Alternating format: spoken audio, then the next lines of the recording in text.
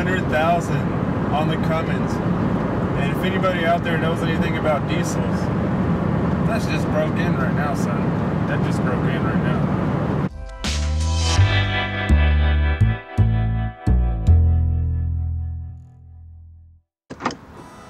Awesome. 300,000. You and I just witnessed a milestone. Literally a milestone. I've never seen an odometer turn over 100 to 300,000 like that. So that was pretty cool. Um, but I personally only put 90,000 of the miles on that truck. And I'm hoping I can get it to half a million. So anyways, we'll see if I get it there. Um, who knows. But I just wanted to make a quick video about two things that have been on my mind just recently and um, stuff that I've experienced over my time in this industry. And I haven't been doing this for decades or anything. I'm not, you know, some super experienced guy, but I have been doing quotes and estimates for seven years now. And the two things that I just wanted to talk about is um, just kind of the brain tactics and like the little, I guess, things people say to be witty when they're meeting with contractors and to try to get the best price. But these, these are just two things that I personally think you should never say to your contractor or potential guy that you're gonna hire, contractor, worker for your house, whatever.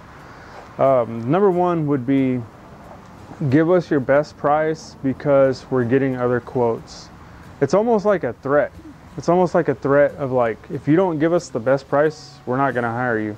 If you don't just give us your cheapest price, you're just wasting your time out here with your estimate. We're going with the lowest thing. See, that puts a bad taste in my mouth because I've got other things I could be doing, other jobs I could be quoting, other jobs I could be actually installing.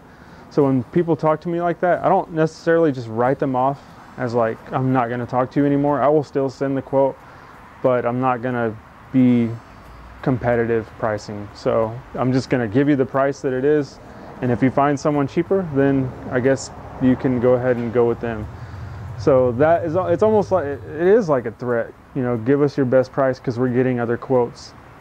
They think they're being witty and like, you know, if we put this in this guy's mind, he's going to give us the lowest price, but it doesn't necessarily work like that, at least not for me.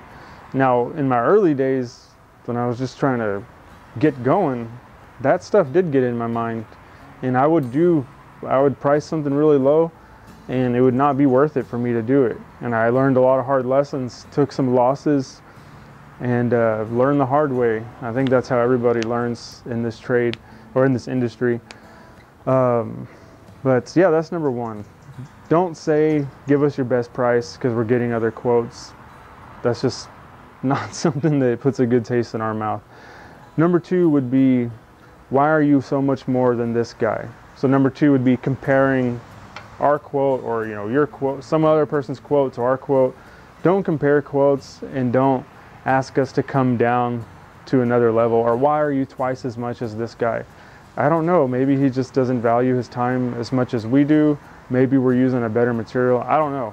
I don't know why it's like that but just keep this in mind. There is no set price in construction. I have a different value for my time. For example we're a two-man team with this company. So we're going to be more than a guy who can do it alone because you're paying for two guys.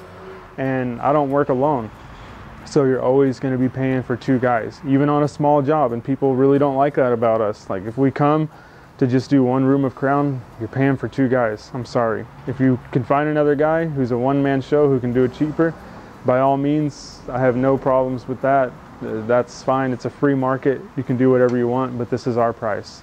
So that could be one reason why we're double is because we got double the, the people, the, the manpower. And um, that's why with a lot of small jobs we don't get, like I'll quote them and then people will be like, whoa, that's high. And I'm like, yeah, because that's how we have it set up. And I'm sorry, but um, this is how we do it. But uh, one thing that John always brought up, uh, which John is the guy that works with me, he's holding the camera, you know, when we would go through this a lot, you know, because he goes with me to a lot of the quotes and they'll be like, you know, why are you twice as much as this person or why are you so much more? And we'll be talking in the truck, you know, after it and he'll say, why don't they just go with them? You know, and I agree with that. If you can find someone that's cheaper, why even talk to me? If you found someone cheaper, then just go with them. And it's like you're going to, you know, say let's say you go to like Texas Roadhouse and you're gonna get a steak, and then, you know, you go in there and you, you get a bone-in ribeye and it's like 50 bucks or whatever it is, and you get the bill and you're like, whoa, I can get the same steak at the steakhouse down the street for X amount, you know, $25. They'll probably tell you, well, why don't you just go eat there? Sorry, we can't. These are prices are set. So, you know, there is wiggle room. I'm up for negotiating, and uh, I can negotiate prices. That's fine. We can we can work out deals and whatever. But I'm just talking about like the brain games that people play.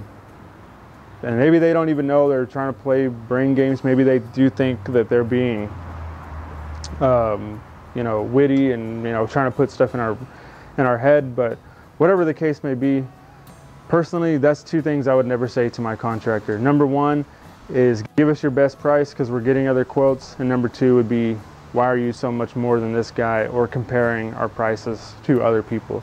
So I hope that helps. If you're a contractor out there and you watch this video and you've had people say some stuff to you, leave it in the comments. I would like to hear it and get a good laugh or, you know, crazy stuff happens out here doing this stuff.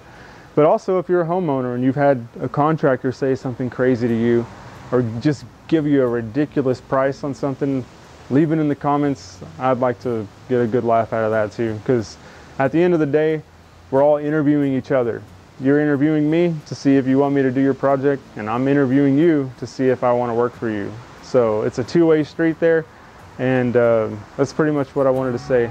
So anyways, thanks for watching this video, and we'll see y'all on the next one.